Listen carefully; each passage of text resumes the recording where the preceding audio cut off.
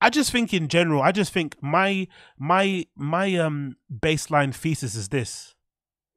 I just think in general, Brendan's one of those type of personalities, and I've I've, I've met a few of them because again, I I think I've had, I think when I was growing up, I was really kind of. I had a little bit of like entitlement in me as well. I had a little bit of like, like I was one of those guys in school or in college and shit who was always told they were special right? I was always kind of told, "Oh, you're gonna do great things. You're gonna do great things," and I started to believe it. I like to gas myself up because I was like, you know, I was kind of smart and shit. I got good grades, and what that does to your brain because I've I've been there. That's what I'm saying. I've I've spoken from a point. I've been there. It fucks with your brain because you start to think you deserve things, and you start to have this really toxic sense of entitlement. Then when I left college and I graduated from union shit, I went to a really good one. I went, I did art, I did all this kind of crazy shit, right? And winning all these awards, and then suddenly your career isn't matching all this academic thing that you were kind of given, right? So people were sucking you off academically, right? And then you go into the real world, and I couldn't get a fucking bartending job. I'm like, hold on, but I'm I was special. I got design awards in school. Look, look, look. I got patterns in my name and shit. Nah, I couldn't even get a bartending job. And I was like, whoa, real humbler. And then you meet people who are like, you know, who maybe aren't as good as you at your particular thing that you want to do. Let's say it's art. And then they're succeeding and they're doing really well in their careers.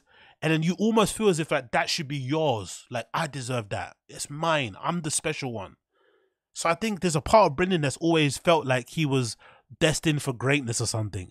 And then when he met Rogan, and Rogan put that battery in his back, and then he got everything he wanted in life. Because you know, I think he's one of those type of dudes who always wanted a big house, always wanted a wife that looks like his wife, always wanted cars in his garage, you know, always wanted a bunch of kids, yeah. Always wanted to wear this stuff, whatever he's wearing. You know, he's had these kind of like tick. He took. He's had these these things he wanted to tick off. Now he's got them. You can't tell him shit someone like that, you can't tell them shit because they, he always felt he deserved this lifestyle. He got it by chance, you know, it's just a luck thing, really, um, for the most part, especially the meeting of Rogan. And now that he's got it, you can't tell him shit. And I've seen these people before. I've met them before, and there's and there's nothing worse than having that type of attitude. Because again, I've, I had a little bit of it, and I was lucky because I had it academically, and and I kind of got rid of it very quickly when I went into the real world. and I was making like six pound an hour, right?